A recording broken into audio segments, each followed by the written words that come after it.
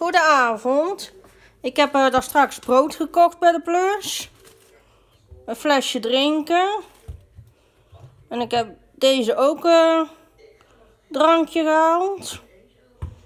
Ik heb twee verschillende ja, drinkflesjes om uit te proberen gehaald. Vond je dit een leuke short video? Geef deze een duimpje omhoog. Abonneer op mijn kanaal. Laat ook een leuke reactie achter. En dan zeg ik tot de volgende short video van mij of shopvlog of vlog. Houdoe!